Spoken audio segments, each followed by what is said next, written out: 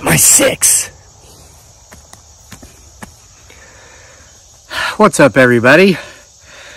Uh, good morning for me as of the recording of this video. It's still early, um, but I'm challenging myself. Going to get into that here briefly in a minute to do a little more than I've been doing, especially since so many of you have been sending in your stories, your true stories of the paranormal slash supernatural slash spiritual, uh, cryptozoological, all of them. Today, we've got some wonderful stories for you from real viewers like you, maybe you, if you're listening to the story you sent. Uh, we've got a haunted castle from Scotland filled with ghosts. We do have a Bigfoot Sasquatch story from Tennessee and we've got a story of an alien abduction, multiple alien abductions. Okay. Um, but first, I want to give a shout out to apparent, apparently one of my biggest fans, uh, Boots. Have a look.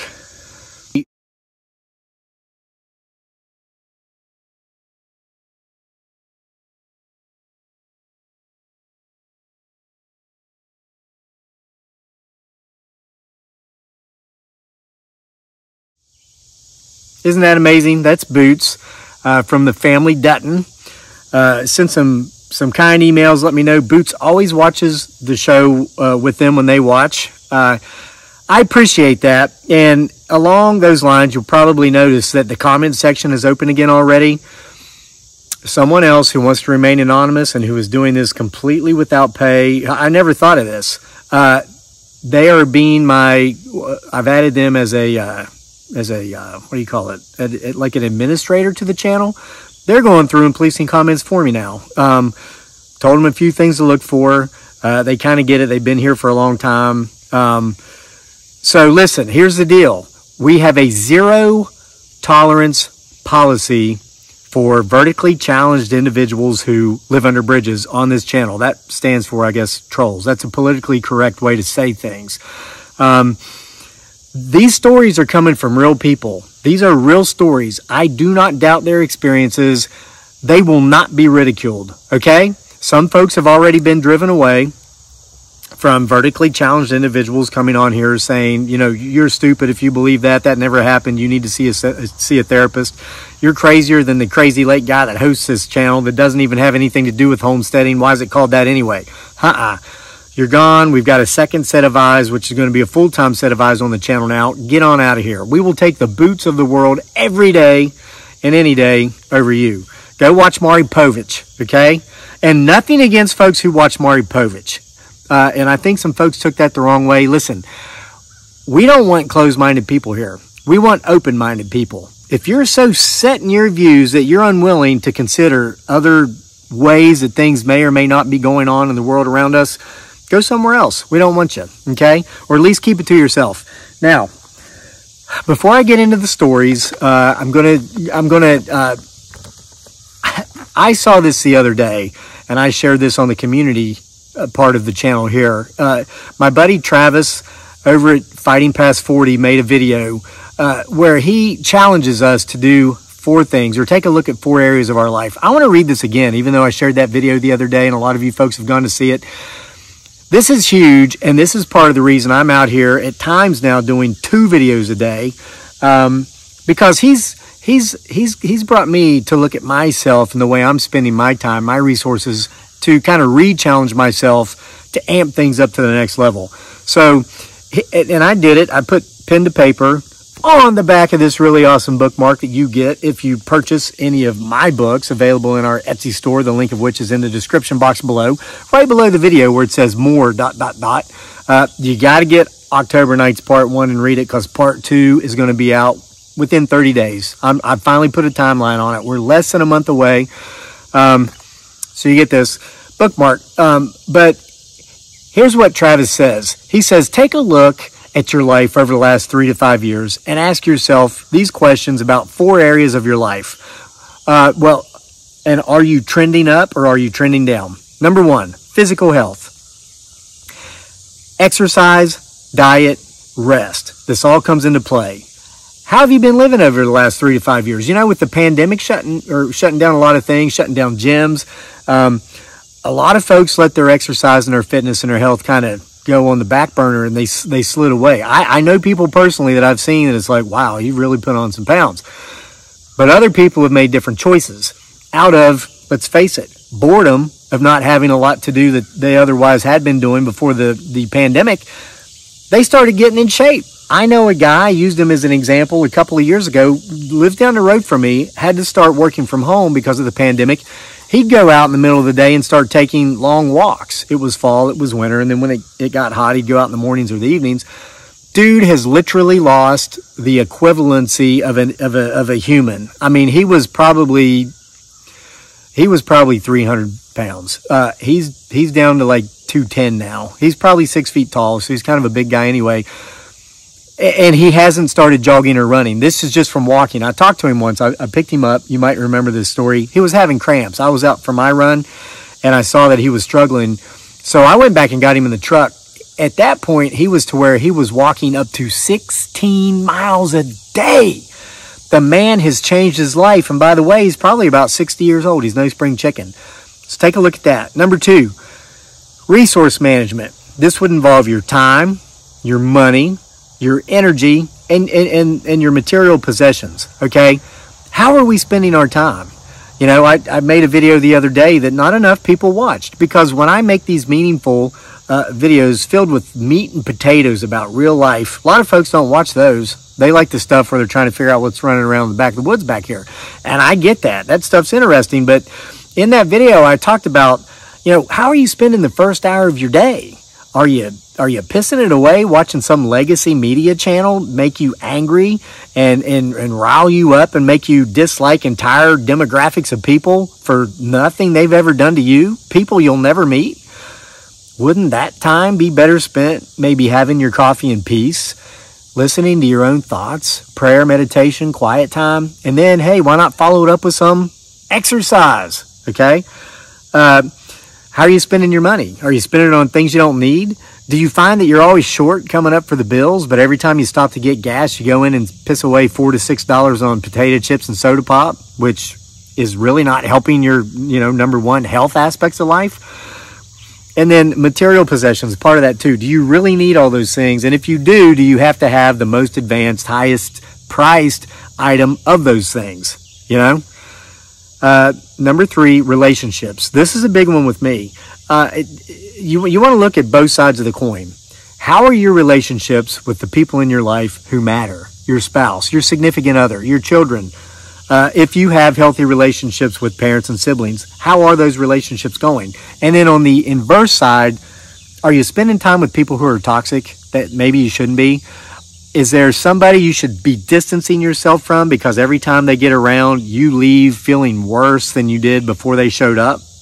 Think about it, folks. Uh, you don't have to have a relationship with anybody, be it a next door neighbor who's negative or be it a family member who's toxic. If they bring you down, get rid of them. Okay. And then fourthly, your vocation, work, job, career, profession. Okay. Do you hate getting out of bed every Monday morning and going to that job you hate that makes you miserable? Or like myself, uh, do you jump out of bed before the sun's even up because you're so excited to get into that which it is that you do for a living that you love, so therefore it feels like you never work a day in your life? We have choices, people. We have choices. And if you're stuck in a rut, you don't have to stay there. Make the choice to get out of that rut and go down a different path. So that's from my buddy Travis Daigle. His YouTube channel is Fighting Past 40. I'm going to put the video where he discusses that stuff at the end of this video. Go listen to him talk about it because he's way more motivational, way more motivational than me. All right, story time. It's why you're here. Okay, the first one comes to us from Fiona in Scotland, who has given me permission to use her name. Remember, if you have a story, but you know, let's say you're one of these educated professional types that works in a bank uh, you're a stockbroker or you're a doctor, a dentist, or a teacher. Y- you can't always let folks know that you're telling these stories or making these claims. I get that too. It's not always about the vertically challenged individuals in the comment section who are living under the bridge or mommy's basement. Um, it's a, it's perfectly okay to, to submit your story anonymously, but Fiona said we could use her name. She's from Scotland. Hi, Kevin. I've been watching your hilarious videos since you began on YouTube. I tried to subscribe, but it simply won't let me. I'm not very computer savvy. Proof right there. It's not always me. I mean, sometimes, listen, they can, well, don't bite the hand that feeds you. Read between those lines. Okay. I live in Scotland and got married on Halloween in a haunted castle, which I think was fate, as in the year 2003, me and my husband decided on the venue as it was steeped in history and could take all of our guests. Wouldn't that be awesome? You know, we have a, a set of friends. A couple of our best friends got married on Halloween a couple years ago. Uh, dude asked me to be the best man. I was like, heck yeah. How awesome would that be? Um, not really best man, so to say, as much as like a witness. You know what I'm saying? It was during COVID. They were, were not allowed to have too many people, but he asked me to be there. Um, I then found out we could only have this castle for our wedding on Halloween. I booked it thinking that's great. The veil is thin and all our relatives were dead, unfortunately. Uh, so they would be able to attend, so to speak. As they gave us the guided tour of the castle, one room was called the Chinese room, hence the very ornate decorations.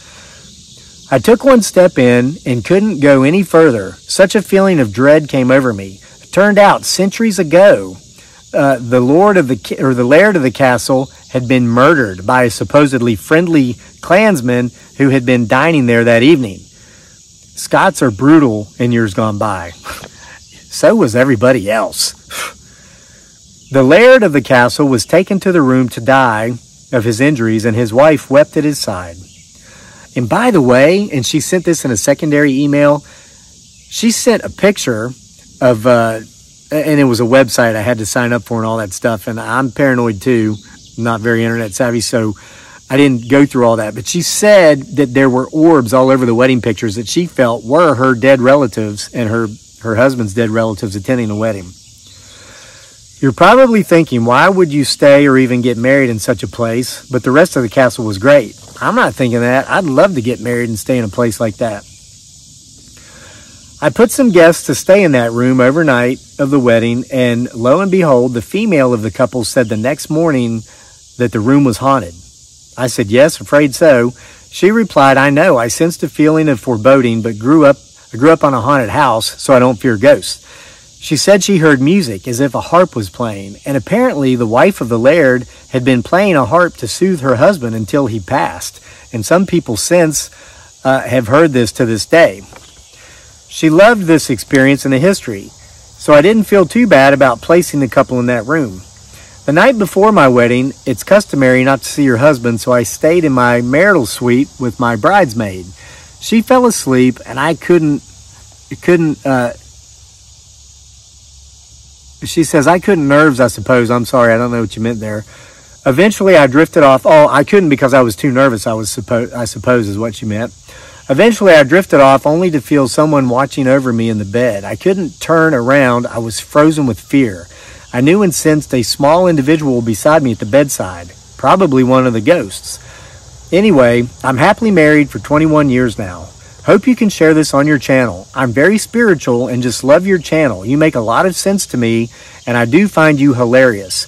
Don't stop being you. It's helping so many people with all your experiences, and to be honest, the world seems mad, so you make a lot of sense what you're saying. I grew up in the 70s, I was born in the 60s, and I love the fact that we didn't have phones and IT, etc.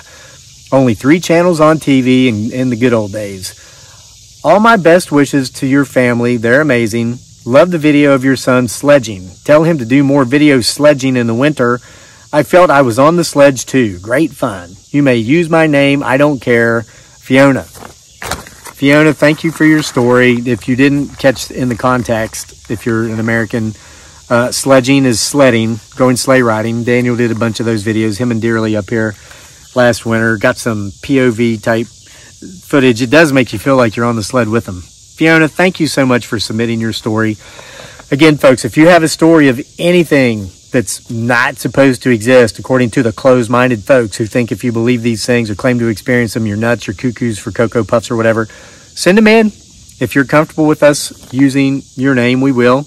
Um, if not, we'll tell your story anonymously. All right, the next story comes from Ron Williams down in neighboring Tennessee. We came up through Tennessee on our uh, trip this summer where we went all the way as far west as to the Grand Canyon, came back through Tennessee. You look at Tennessee on the map, it looks like a small state. And I've traveled through Tennessee north to south and south to north, and you zip through it in no time. But we came in through Oklahoma and Arkansas, where my man Travis Daigle lives uh, in Arkansas, there in Little Rock.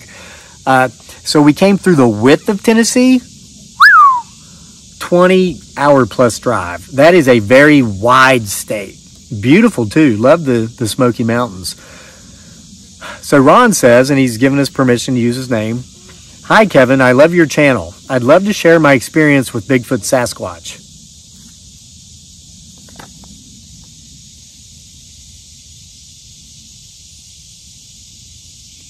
It's like I just heard a voice. I'm up here alone, and it's only 8 o'clock in the morning my time. I've already been up for three hours. Been doing a lot of woodworking in the woodshed. Make sure to go to the Etsy store and check out our Halloween custom made, handmade by this guy decorations. And I've been editing, been editing already a couple of stories. Got a great night's sleep. I was dumb enough yesterday to go take part in a four mile trail race it was 92 degrees and humid as can be, and it was at 7 p.m. So I didn't race per se as much as I just kind of ran it for, for an exercise run. They had a cookout afterwards. Well, brought some subs, uh, all kinds of. It was great time. My family was there with me. Uh, they're back from DC. So I slept really, really well last night, is what I'm saying, because that wore me the hell out.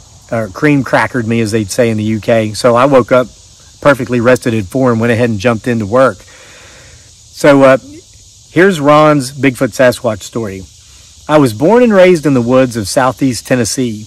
My best friend and fishing buddy had just come home from two hitches in the U.S. Air Force. That summer, we spent every free minute trout fishing. One afternoon, we were sitting on the tailgate of my truck eating lunch when something came busting through the brush on the opposite side of the river. We assumed it was a bear or a wild hog, both very common in this area. Suddenly, this thing, about 10 feet tall, long, shaggy hair, almost human face, smelled like rotten flesh and excrement, stepped into the river, grabbing two very nice rainbow trout, and went back into the woods. It was probably 50 yards from us. It turned, looked at us, and just walked away. My friend will still not talk about this to this day. You're free to use my name. Thank you for what you do. Ron Williams, Chattanooga, Tennessee. Ron, thank you so much for your story. Don't doubt a word of it for a minute. Okay? Moving on to a story from Jean Kramer, who's uh, given us permission to use her name. This is a creepy story, short and sweet. Then we're going to move on to an alien abduction story. One evening, my daughter and I were enjoying a long evening uh, due to her visit. The air changed as an energy force entered into my home. It traveled into my living room and stopped right in front of where I sat. This energy force. The voice of a woman with a very heavy Jamaican accent asked, Is he here? I calmly, sp- I'm terrible at Jamaican accents, obviously. I calmly spoke, saying, No, he is not. The energy, which was in a black cloud form with sparks bouncing around inside, began to move and went out of my home. I looked at my daughter and she was pale and she whispered, Mother, what was that? I said, I don't know, but I'm glad uh, the woman was not looking for us. Yeah, I bet so. Being born gifted, uh, I was used to these kinds of things happening.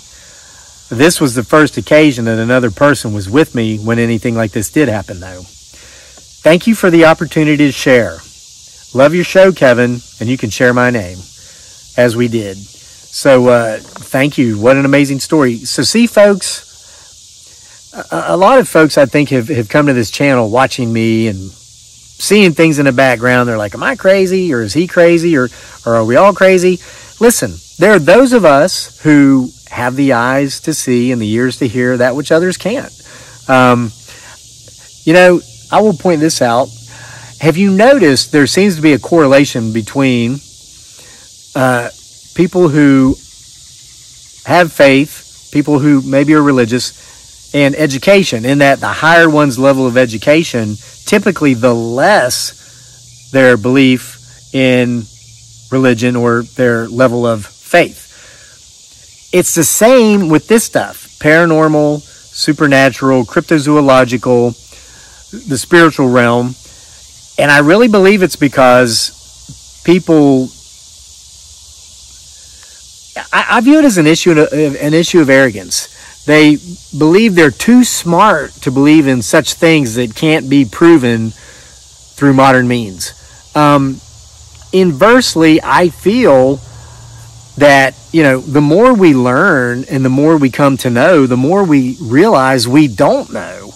And that is why so many folks lack education or have no desire to become educated educated out of the out of the fear that comes from that. Because you have a very narrow viewpoint and you think this is how the world works but then once you start becoming educated you realize oh my god that's not how the world works what else is out there that i don't know about that's scary so you keep a closed mind. So just as folks uh, will remain uneducated because of that view and wanting to maintain that closed mind, inversely, a lot of folks who have become highly educated equally close their mind in regard to the realm of that which can't be proven through modern means. Ignorance. How does he think like that? Oh my God. I get this comment all the time. How can someone so intelligent be so crazy at the same time? Maybe they go together, brah. All right. Final story alien abduction. Okay? This one's anonymous. Uh, the writer says, I've been abducted by aliens a couple of times, but I haven't talked about it enough that anyone would know. No one would believe me anyway. The first time was scarier and more disjointed. I only remember little bits and pieces. I don't feel like I was mistreated necessarily, just angry at being held down and not being in complete control of my body. They were grays, by the way. There was this weird shimmery force field, and some of the grays were wearing white hazmat suits. Aside from some really strange sounds, I don't remember a lot else. The second one was a lot more more peaceful. I was in a bright white space with walls so smooth as to be indefinable or indefinable. Couldn't tell you how far away they were or what shape the room was. Everything was very bright and warm like a hospital. I remember the lights themselves were very warm and had a calming effect. I felt drowsy, comfortable, and unafraid. I was on a soft surface, and I think there was a quiet musical tone in the air. There were only one or two grays in the room, the one who spoke to me uh, had a female voice. If I had to describe her, I'd say she was calm, businesslike, and pleasant.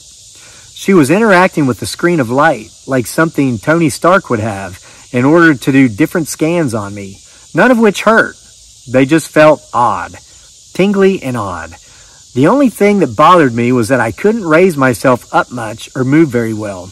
I know it was for my protection as well as theirs. The kind, beautiful female gray I spoke to told me different things about me that I wasn't sure how she knew. Maybe the scans told her. Really wish I could remember more, but whatever they did to restrain my movements also made me dopey. I remember at the end, things got all wobbly, shimmery, and I felt very dizzy, and when I woke up in bed, I felt weird, sort of jet lagged or hungover. I don't know, I don't drink. So that's it. I'm not lying, and it's all true. I absolutely believe you. And yes, I see that thing which was not there before. So I guess that's my sign to get on out of here, go back to the house, keep working on woodwork, keep editing October Nights Part 2, 31 more tales for the Halloween season, which will be out in less than 30 days. Uh, gonna go spend some time with my family. Jenny Jo brought uh, Dearly, who's not pregnant and who is not dead, and our son Daniel back down from DC. Such a sweetheart, Jenny Jo. Go like her channel too. She she's the one that's pregnant by one of my best friends, her husband. Um, uh, she took my family up to DC to stay for five days or so, so I could have the time alone to edit without interruption. And now that they're back, though, they're going to go meet up with some of their other friends and spend some time at our other friends' houses for the next couple of days, so I can just throw myself into the final edits, the final rewrites. It is coming. If you haven't read October Nights Part One, we still have maybe 20 copies are left here. Uh, you can get with an autograph, autograph, and it's really awesome bookmark. Uh, and again, go see my buddy Travis Daigle's channel, Fighting Past 40, to get motivated to start your day the right way and to start the very first day of the rest of your life, which is today, positive. See you for more next time. Send us your stories. crazylake at mail.com.